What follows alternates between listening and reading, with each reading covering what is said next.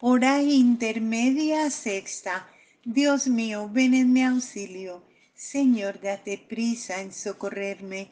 Gloria al Padre y al Hijo y al Espíritu Santo, como era en el principio, ahora y siempre, por los siglos de los siglos. Amén. Aleluya. Este mundo del hombre en que él se afana, trae la felicidad que tanto ansía Tú lo viste, Señor, de luz temprana y de radiante sol al mediodía. Así el poder de tu presencia encierra el secreto más hondo de esta vida. Un nuevo cielo y una nueva tierra colmarán nuestro anhelo sin medida. Poderoso Señor de nuestra historia, no tardes en venir gloriosamente tu luz resplandeciente y tu victoria inunden nuestra vida eternamente. Amén. Amar es cumplir la ley entera. Cuánto amo tu voluntad. Todo el día la estoy meditando. Tu mandato me hace más sabio que mis enemigos. Siempre me acompaña. Soy más docto que todos mis maestros porque medito tus preceptos soy más sagaz que los ancianos porque cumplo tus leyes. Aparto mi pie de toda senda mala para guardar tu palabra.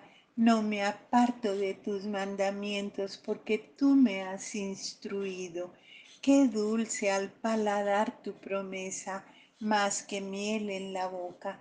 Considero tus decretos y odio el camino de la mentira. Gloria al Padre y al Hijo y al Espíritu Santo, como era en el principio, ahora y siempre, por los siglos de los siglos. Amén. Amar es cumplir la ley entera.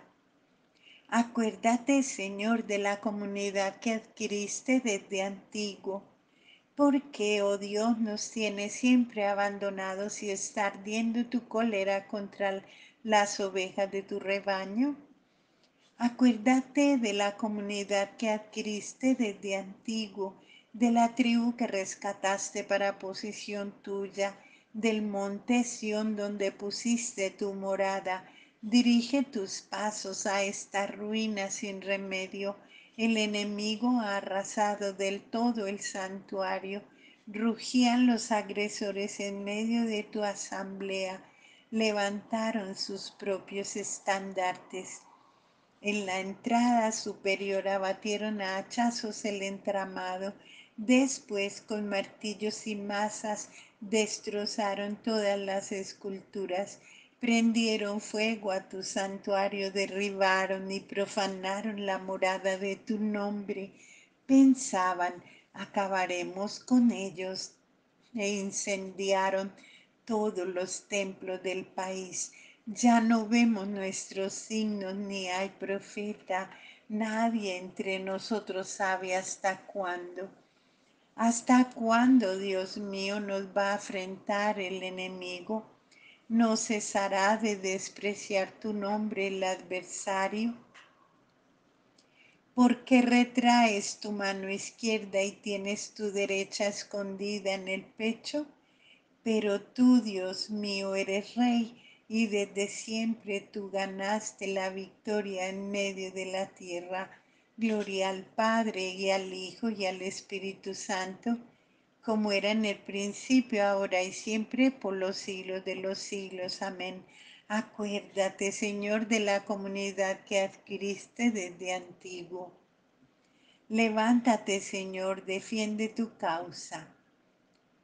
Tú hendiste con fuerza al mar rompiste la cabeza del dragón marino, aplastaste la cabeza del leviatán, se la echaste en pasto a las bestias del mar. Tú alumbraste manantiales y torrentes, tú secaste ríos inagotables. Tuyo es el día, tuya la noche. Tú colocaste la luna y el sol.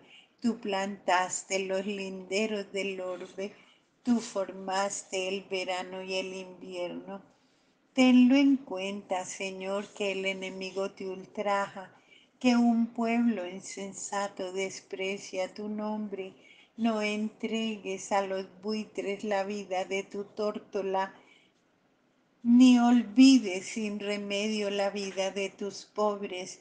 Piensa en tu alianza, que los rincones del país están llenos de violencias, que el humilde no se marche defraudado, que pobres y afligidos alaben tu nombre.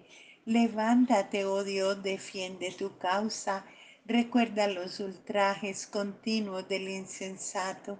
No olvides las voces de tus enemigos, el tumulto creciente de los rebeldes contra ti.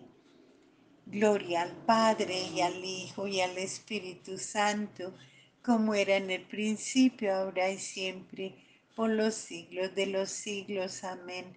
Levántate, Señor, defiende tu causa. De la carta de Santiago. Dichoso el hombre que soporta la prueba, porque una vez aquilatado recibirá la corona de la vida que el Señor ha prometido a los que lo aman. En Dios confío y no temo, que podrá hacerme un mortal Oremos, Dios nuestro, que inflamaste con el fuego de tu amor a San Lorenzo para que brillara por la fidelidad a su servicio diaconal y por la gloria de un heroico martirio, haz que nosotros te amemos siempre como Él te amó y practiquemos lo que Él enseñó. Por Cristo nuestro Señor. Amén. Bendigamos al Señor, demos gracias a Dios.